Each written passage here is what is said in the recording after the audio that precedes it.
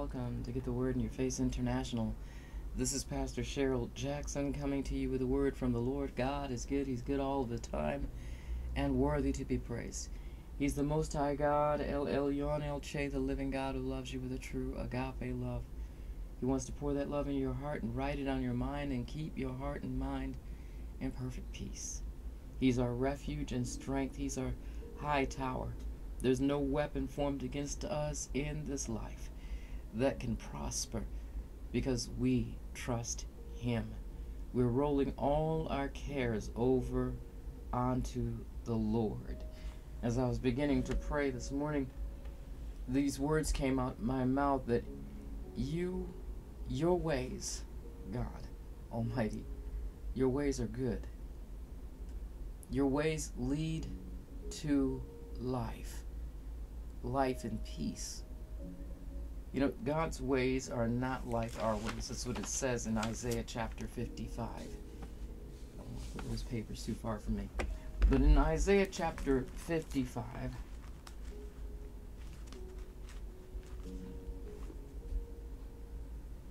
verse 8, it says, My thoughts are not your thoughts, neither are your. Wait. For my thoughts are not your thoughts, neither are your ways my ways, says the Lord. For as the heavens are higher than the earth, so are my ways higher than your ways, and my thoughts are higher than your thoughts. So he's telling us to come and let our thoughts, let his thoughts.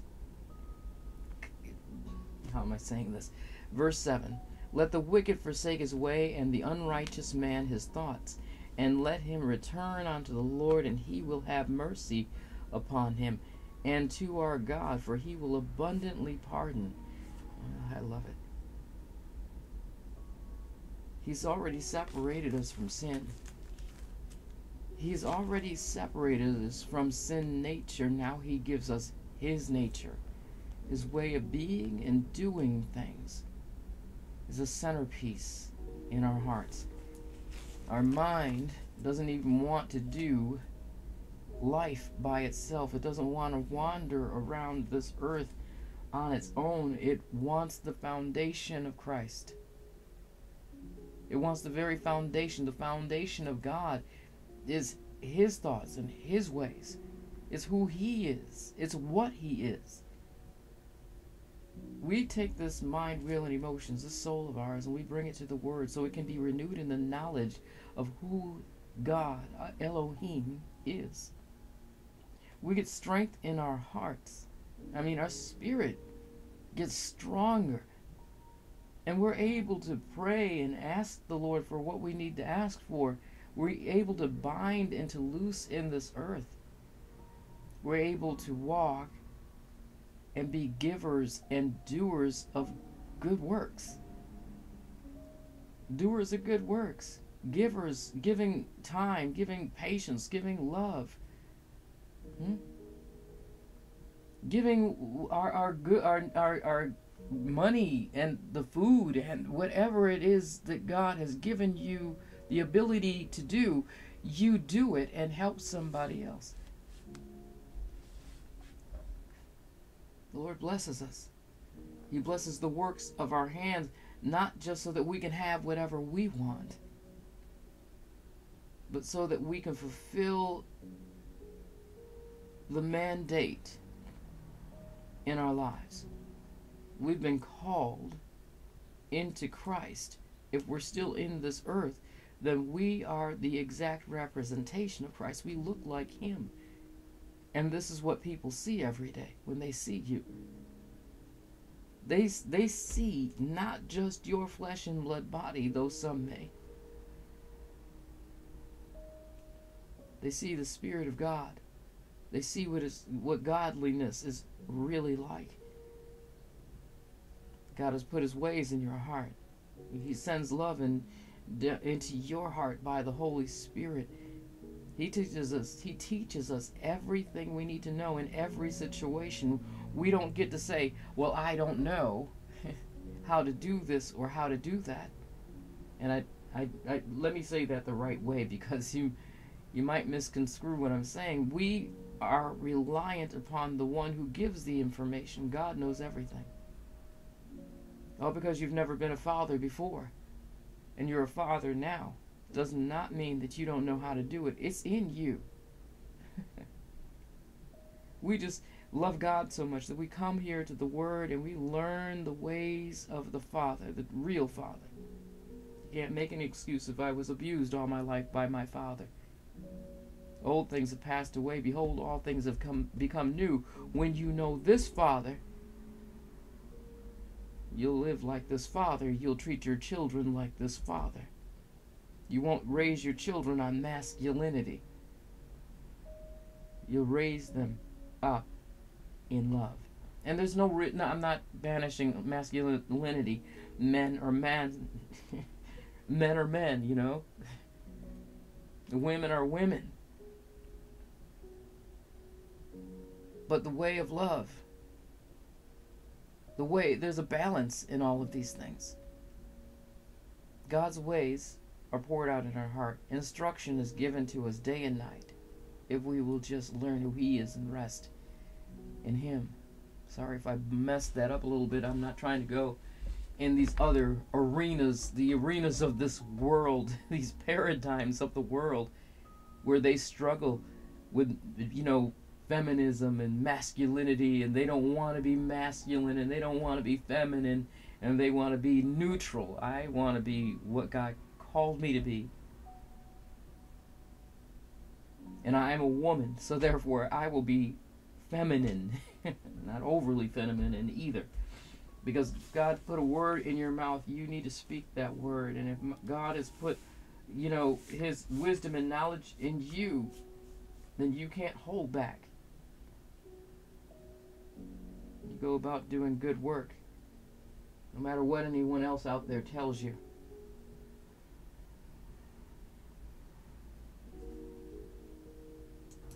I know I say it the way I say it. But this word of God is poured into our heart by the Holy Spirit. He teaches us everything. He's speaking to our spirit. Our spirit is seated in heavenly places in Christ Jesus, and yet it walks in this earth in this flesh and blood body. The spirit that we are with, Holy Spirit, He reminds us of all truth. But this, uh, but we have to have this great desire for the Lord. Deuteronomy chapter 6, verse 5 to, to love the Lord your God with all your heart, with all your mind, and with all your strength. That's what we do. Every, every breathing, living cell of ours ought to yell out, Abba, Father. It ought to desire God, the Lord Jesus, with all of whatever it is. I'm sorry. We just need more word in our face. We need to drink and eat the Lord Jesus Christ. And Jesus has come in a, into a flesh and blood body, but he was the Word that became flesh. And the Word has given us life. This Word will direct your steps in the daytime and in the nighttime. We have life and peace because of what He's done. And if we believe that Jesus Christ, the Son of God, is the Son of God who died and rose again, I'm telling you that we're not that. What does it say in Romans? that old wretched man, that bent over man that's all uh, just full of debauchery, full of sin, and immoral living in his mind in his ways. We have said yes to Jesus. And because we've said yes to Jesus, the Holy Spirit is teaching us how to mortify, kill the works of this flesh and blood body, the this uh, immoral desires.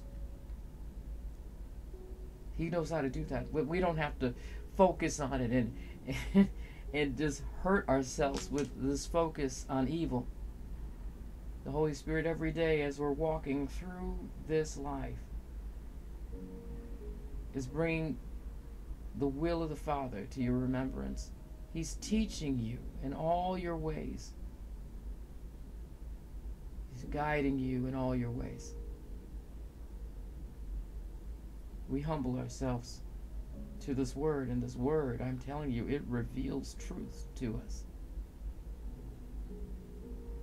This word in the daytime and in the nighttime comes to us and says yes and no. And like a child who's growing up learning these ways, I do daycare and I've done it too long. I'm ready to quit. I so want to quit. But through all these years of doing daycare, with the way that kids come up with their learning how to use the word no. I've had plenty of kids who don't know how to use the word no.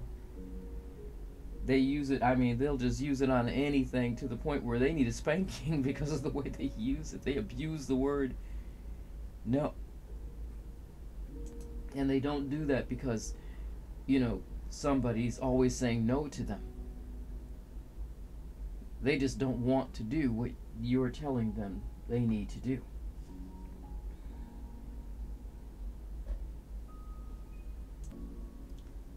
Let me close this with the Lord Jesus has given us life and life more abundantly. It's in the knowledge of who He is. We are saved by God's grace, His goodness. And all God's ways toward us are good. When we said yes to the Lord Jesus, we said yes to life. life in the one who is eternal life with the one who's outside of this world and yet is in this world, over this world, all around this world. Oh, you know what I hate? I, I hate all the personalness of our lives. How closed in we are. Our, our, our mental perception of everything because we're not seeing Him as He is. That's why we need that quiet time with Him. We need that time when nobody else is on our mind. We aren't on our mind. The people around us, the spouse, the wife, the children, uh, the car, the cat, the dog, the fish, whatever it is, the job, nothing else is on your mind but Christ we sit down with the Father of heaven and earth. We can sit down with Him by the Holy Spirit. We can sit down with Him however He is, He is. And we sit with Him.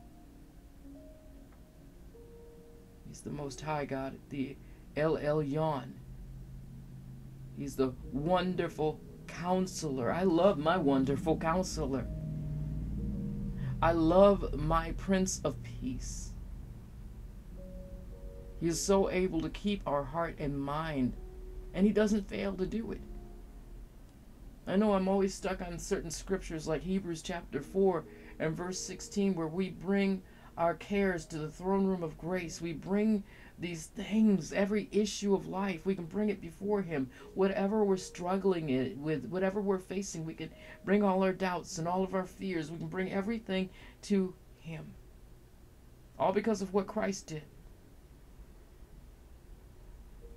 and He will give us the grace, and He will give us the mercy. That means He will give you the wisdom, He will give you the understanding. Now, He might not give you the understanding about the issue that is at hand. Maybe He will. I don't know. All I know is that He gives you the strength, and He gives you the wisdom to do something else, to do something good, to get up and go on in the faith. I pray for us to be mirrors of the Word, mirrors of Christ, showing His goodness, showing the Father's loving kindness, showing the Father's tender mercy, His patience, especially with people in this world today. It's crazy out here.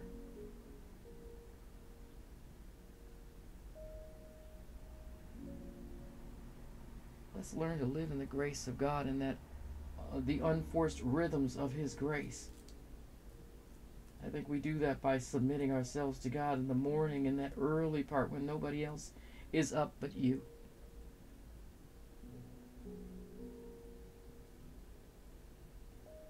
It says in Isaiah that in quietness and in confidence we find strength. That's that part of you where we are we choose to be still and know that he's God. Not just when the, we're facing a situation or circumstance, but just to get into his presence. Just to sit down and know, let him have his way. Let just sit there and be quiet for a while. Have a desire for him alone. Because, see, God's ways are good, and He wants to lavish you with those ways. He wants to lead you in the way of life. And that way of life is in Him, it's through His Son, it's in the eternal God, the everlasting Father. No one can pluck you out of His hand. Everything works together for your good. Because you understand that He's the Father, He's the Creator. He sent his son. You don't have to. The only thing we have to do is believe. Believe on God. He will show us the right way. This is Pastor Cheryl Jackson at Get the Word in Your Face International. Get Galatians chapter 5 in your face and understand that as we're walking through this world, we're not of this world the fruit of the Spirit, the, the fruit that the Spirit leaves in our hearts, leaves in, in us, is that love, that joy, that peace, that long suffering patience, that gentleness,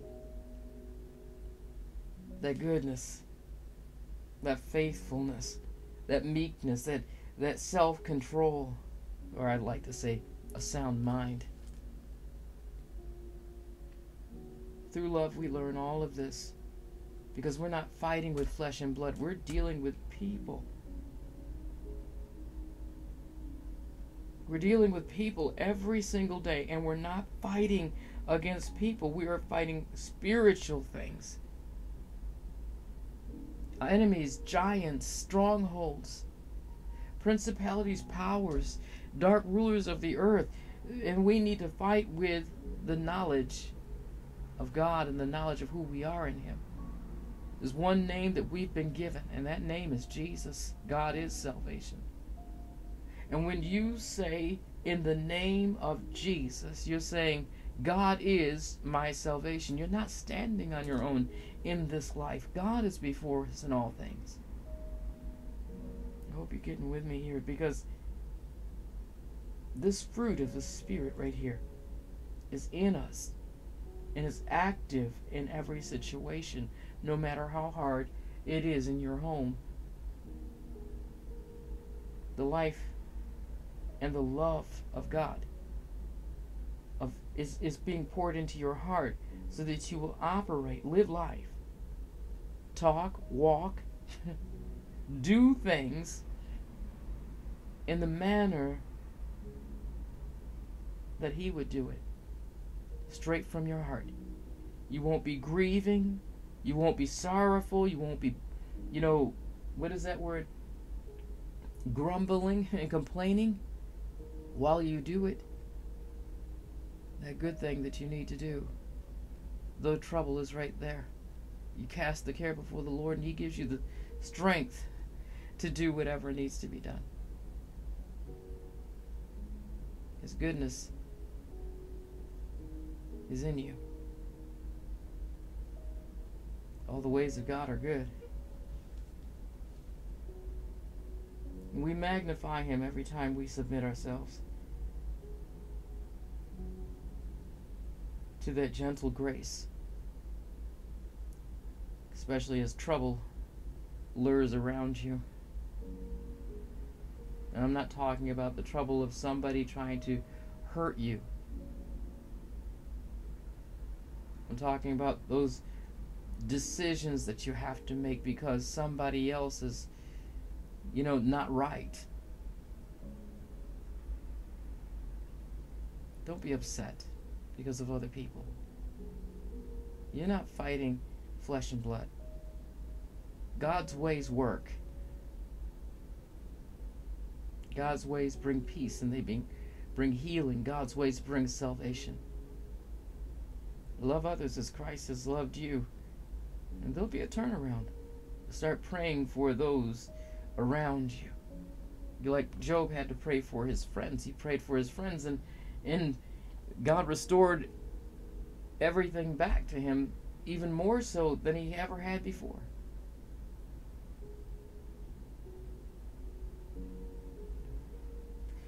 Again, this is Pastor Cheryl Jackson at Get the Word in Your Face International. Get the Word in your face because God does love you. And He wants to direct your steps. He wants to order your steps in His Word.